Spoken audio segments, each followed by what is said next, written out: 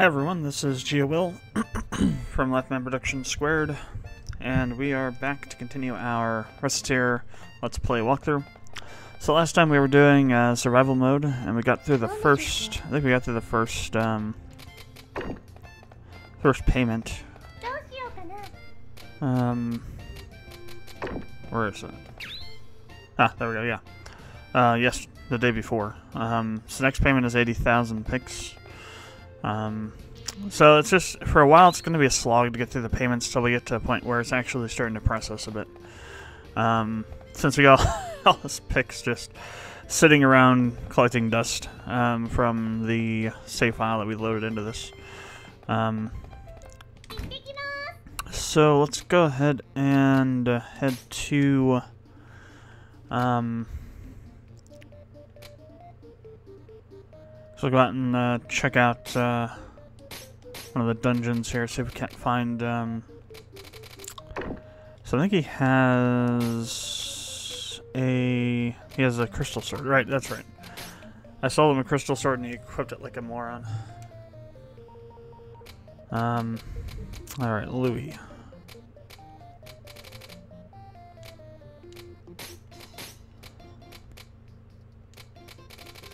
Oh wait, um, not that. The holy armor want. What happened to the uh, shield? I, I think did I lose it? I might have lost it.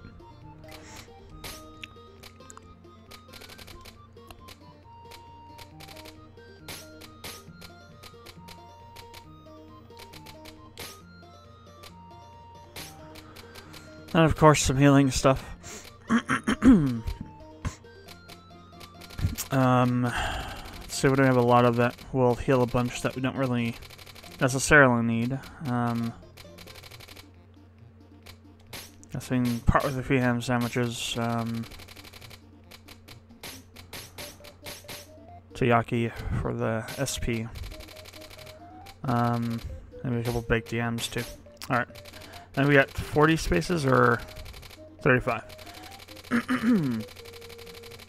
Alright. And, um, where are we? Oh, interesting. Crystal Nightmare is not available in, uh, in this. That is interesting. So, only can so it's only accessible from endless mode, which is fine, I guess, because I don't want to, don't want to deal with that place. Um, so I actually got the Lapis Ruins. Uh,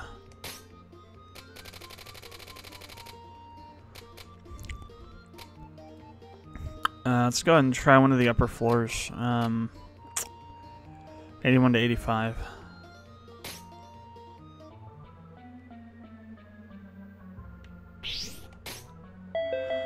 So, on a yay, auto mapper doesn't work. Very first map. Awesome. That was uh, sarcastic awesome.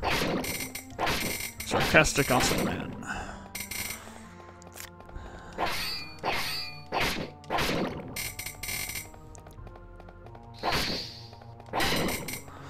So I found this game on um, Steam earlier in the month um, called Gem Crafter Shadow something. It's a pretty interesting game actually. It's a tower defense game. Why didn't that guy get frozen for? Because he hadn't appeared yet. Oh, crud.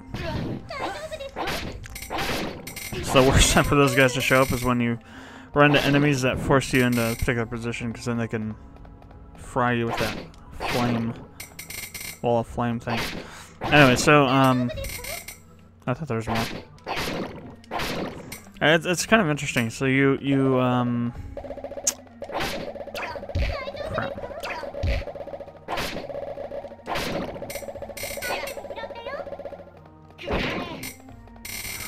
So you, um, start on the map, and you're given, um, uh, mana. So mana is the currency you use to spend to do things. Um, and you have various types of gems you can use. Um, that have different effects, like uh, gems that'll cause poison damage over time, gems that will um, reduce health regeneration of monsters. Um, gems that will slow them down. Uh, others that will do like critical damage or increase the chance of critical damage. Um, stuff like that. There's also some that'll get stronger the more uh, kills they get. Um, others that will increase in power as your mana pool levels up. Um, so that's a whole bunch of stuff, and I haven't actually found all the gem types yet. There's nine of them? No. Like 12 of them total. Um, and you get, uh, each um, field is consistent, well, each, the, the game space is consistent of a map that has, like hexagonal map that you, uh, you reveal over time as you complete different fields. Um, uh, each field has like um, like a different layout and things like that, obviously, and different um, types of um, enemy waves that you'll have to complete uh, to um, win. Uh, not complete, but uh, survive. And the goal is to um, not allow the enemies to um, get to your uh, orb of I forget what it's called, but it's uh, basically an orb located somewhere on the map that's like the end point of the uh, the path that the monsters will take to uh, once they get onto the, the field. And um, the way it works is if a monster hits that, uh, they remove a certain amount of mana. They have a certain mana cost associated with them, and when they hit that uh, orb, they will reduce your mana by that amount. If it if you have that amount of mana, if you don't, the orb gets destroyed and you lose the battle. You have to restart. Um, you can also uh, do different things with the gems uh, to kind of deal with that, such as um, strengthening your gems uh, or your orbs. So you can like drop gems onto the orb to um, reduce the amount of mana that gets removed if a monster ends up uh, hitting it.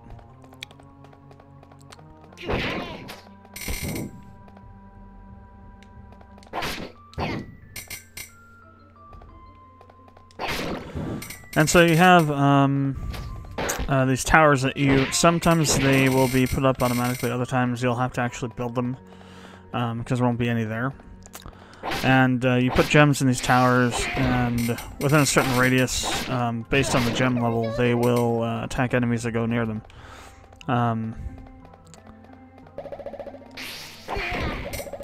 uh, each enemy wave gets stronger so once you get towards the end of the the battle on that field enemies that were killed by, like, say, uh, level 1 or 2 gem won't really take any damage at all, to be honest. So you have to, like, level up your gems as you go through. Um, and uh, there's also different types of enemies that have different, like, um, features. Uh, like, uh, for example, um, they have, um, the main type of enemy are called Reavers, and they're just basically like a just general kind of foot soldier sort of unit. Um, they look like monsters, they're not like people. Um, look like sort of alienish creatures or something. I haven't really read a lot of the backstory that they give to you as you win different fields, so they actually give it to you in like, um, pieces of like, uh, chapters of a book or something like that. I haven't really read too much of that, aside from the first bit. Um, so they're like they're like monsters or demons or something that are spawned by this creature called the. Crap, I've forgotten already. Hey, there's the thing. I'm just gonna take it because this is an annoying field. Defense power doubled for everyone. Okay. Anyway, so they, they get they're they were created by this this entity that you are dealing with that had um, actually possessed you at one point, and uh, you freed yourself from the possession using something called a scythe gate, um, which kind of removed the, the that entity's consciousness from you.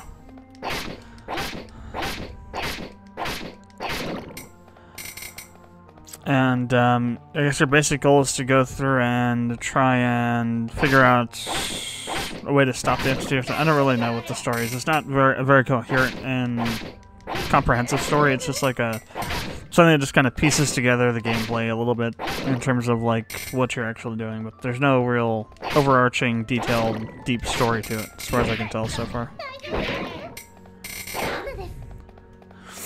Um, but you have these uh, monsters called Reavers that are just basic monsters. Um, nothing really that special about them. You also have um, enemy enemies that are called marked enemies, which are essentially the same kind of type of enemy as the normal ones, but they move faster. Um, so far, I've seen three different types of enemies: reavers, swarmlings, and giants. Um, giants are like the boss enemies of the game. Uh, when they they have like a lot of health and usually a lot of armor, um, unless you fight them uh, very early on. Even then, they might have a lot of armor, which makes them really hard to, to kill without having any kind of the uh, anti-armor gemstones available.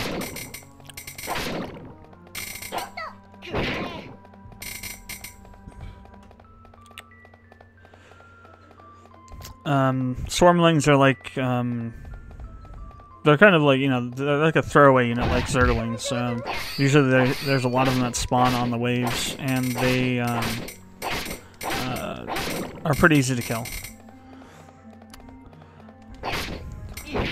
Um, there are some other types of enemies that I've found so far. Um, there's like uh, different types of enemy buildings. Um, monster nests, which will spawn monster extra monsters every uh, wave, which can be beneficial sometimes. Um, like for example, if you uh, are on what they call a tomb uh, field, a field with a tomb on it, and uh, tombs are just buildings that contain different uh, spells you can learn, uh, spells and skills you can learn.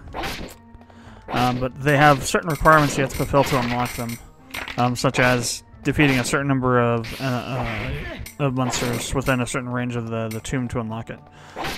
Or, um, like, freezing them in place and killing them while they're frozen, kind of thing. Kind of like that. It's like a requirements kind of thing you have to fulfill to unlock it and there's different kinds of things that they require you to do.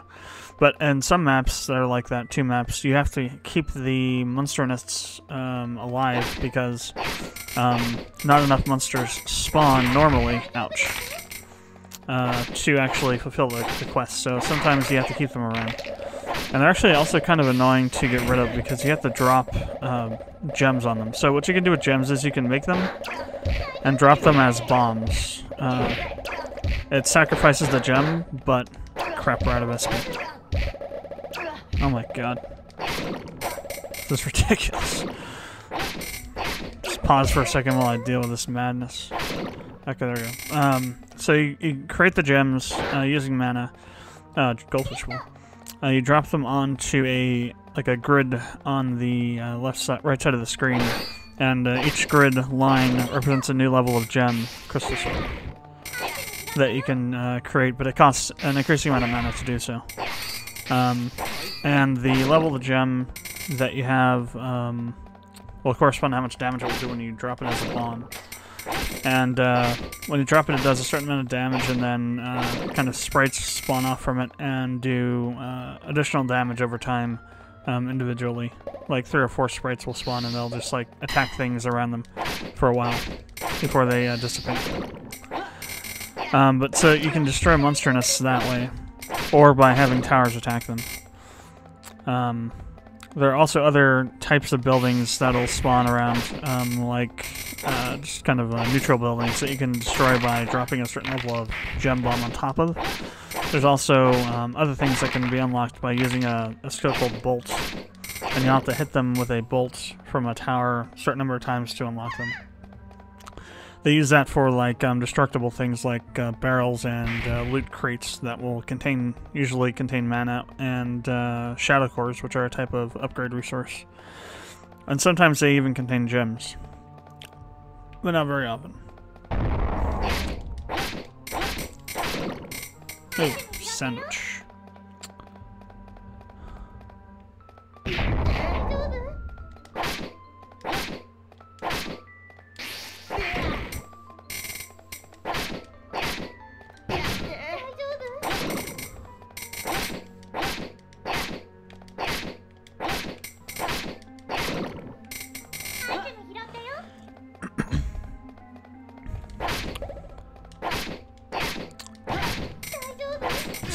It's like most other tower defense games. There's a path that enemies will, will go down. Um, unlike most of them, though, you can actually set up walls that will kind of um, change how they will enemies will um, uh, you know travel around the map. Most of the time, you actually can't really use them very effectively because you can't block um, and then the enemy's path to the gems. Um, and you also can't uh, place them in such a way that a monster nest couldn't spawn enemies that would have a path to the gem. Um, so typically what you're doing with them is you're just blocking off certain paths to make the travel time, well, longer for the monster so that you can do more damage to them. Oh my god.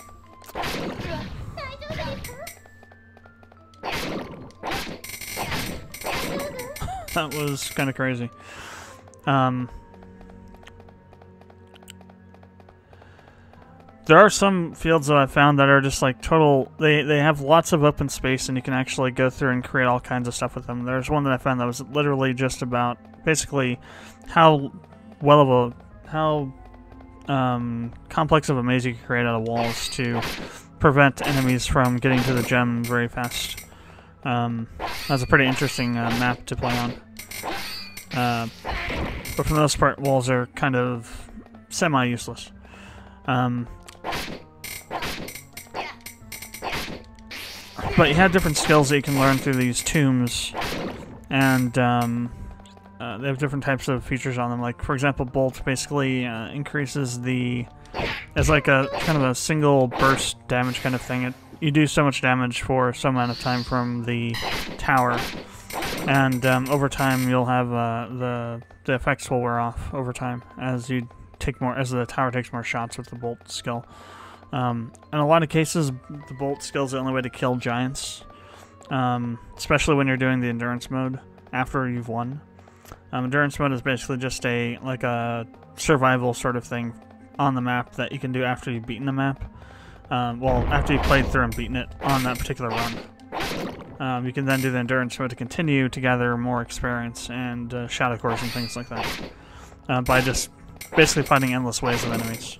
And during endurance mode, you'll also have certain things that'll uh, events that'll happen, like um, shrines might show up that are uh, already present in the map, or you might have um, find events that will increase the amount of experience you get per kill. Um, I might do a uh, live stream of it later, of the game later, just to kind of show it. It's a lot easier to do it that way than to um, explain it on some other game. Obviously, it'll probably already have happened by the time this is uploaded, if it is uploaded, if I do do that, so... Um, kind of moot point to mention here, but it's a really interesting game. Um, if you're into tower defense kind of games, um, you'll probably like it. It it also seems to be the second in a series of of gem crafter games.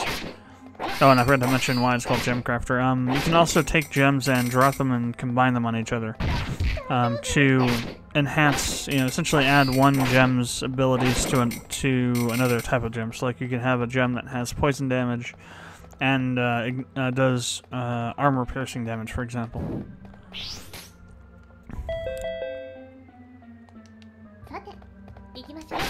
Holy crap.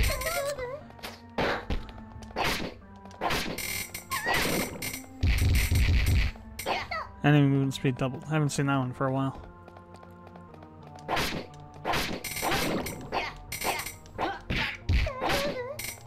That's gonna be kind of annoying. Toadstool got killed by a fish. Only in Recettear. Went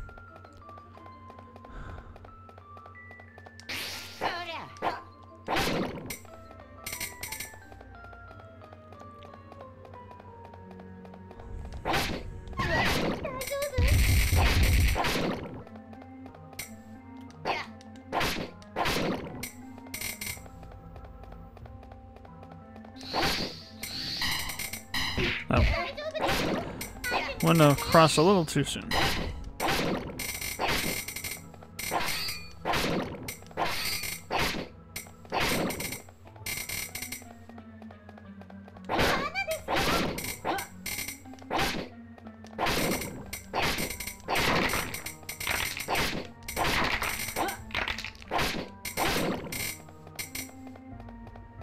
Where'd that other one go? Oh, way back over here. Jeez.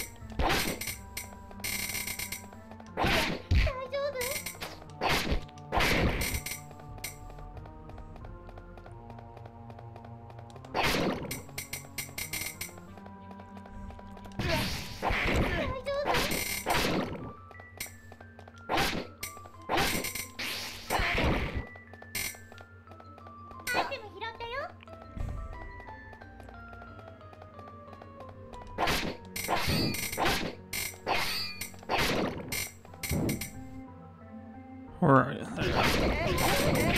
crap.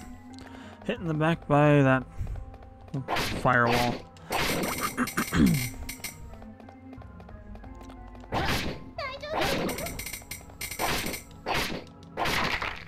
I got a level up, good. I didn't even notice.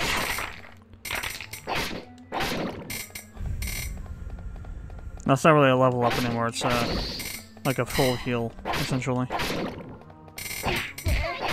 I wish the levels went over 100.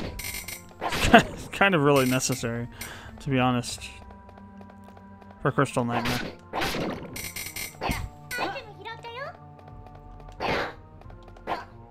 What is that? Arc Saber. Awesome. Holy crap. took forever to find that thing.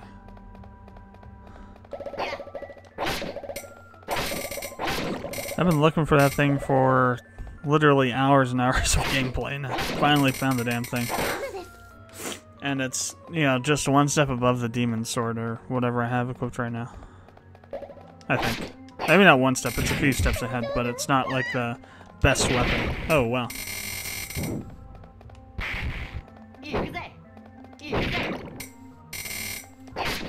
That was an awesome uh, throw of that bomb. That should take out a couple of enemies.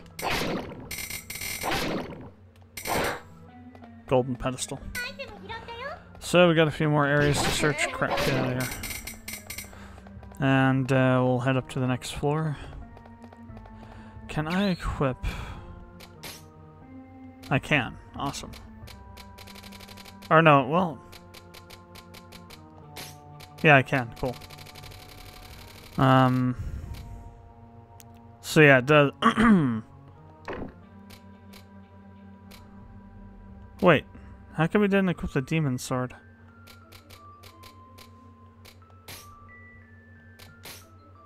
So yeah, it's 30 more damage than the demon demon bane. But I had him. I don't know why. I had him. that's just weird.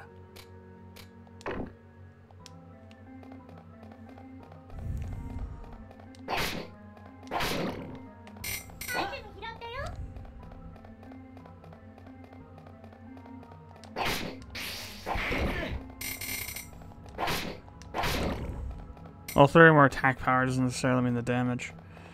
Not sure how that equates out to damage.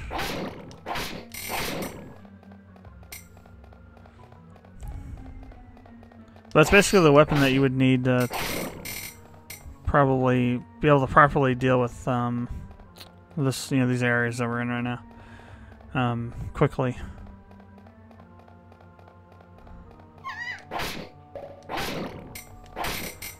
It might help you survive a little bit longer in Crystal Nightmare, but I don't think it would help drastically. You'd need something even higher up than this.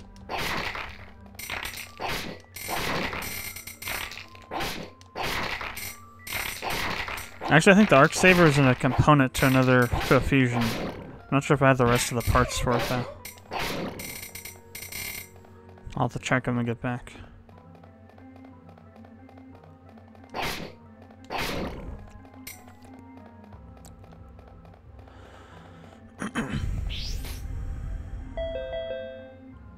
Half as effective.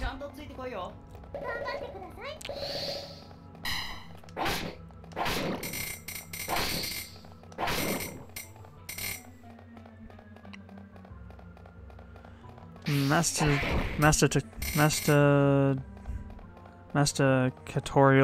deficiency event is what I call that.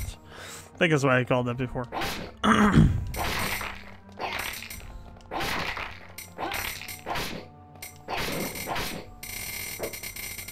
That's a falcon puncher.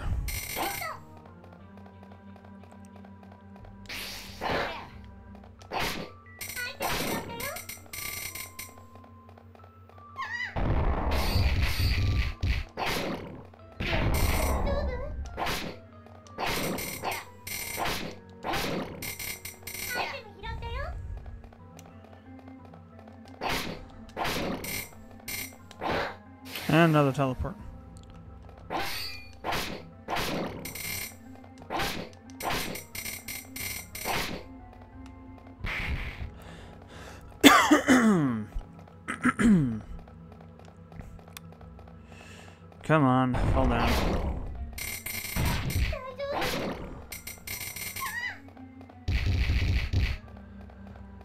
Alright. Hey, watermelon. Oh, wow. Almost didn't notice that guy. Now we gotta eat some things because we're out of space.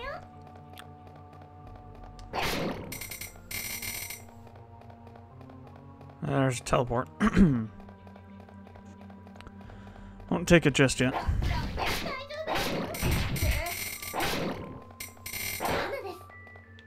Interesting.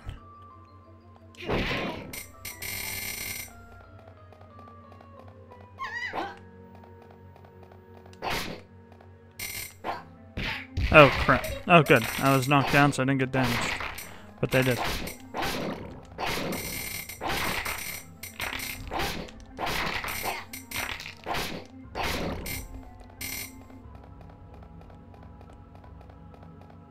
Over this way? Ah, great. More of these dudes. These annoying guys.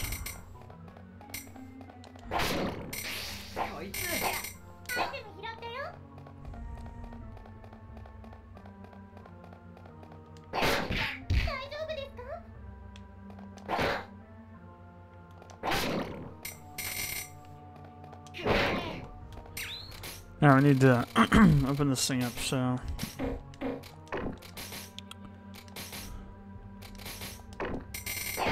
See what's in there, another one of those giant's fists.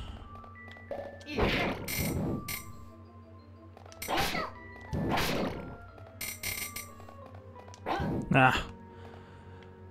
Didn't attack fast enough.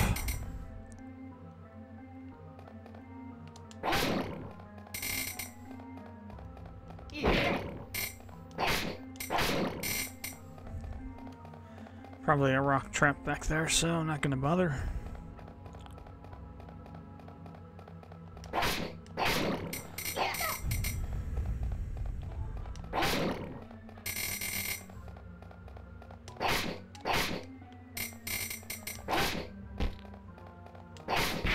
That's an awesome, awesome shot.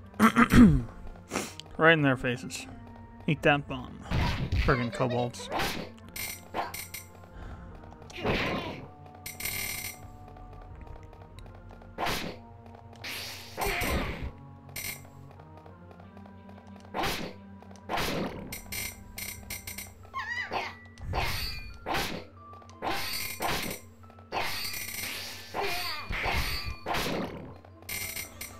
Alright, um, oh, we have found the thing already. Let's see what's down that last area, though.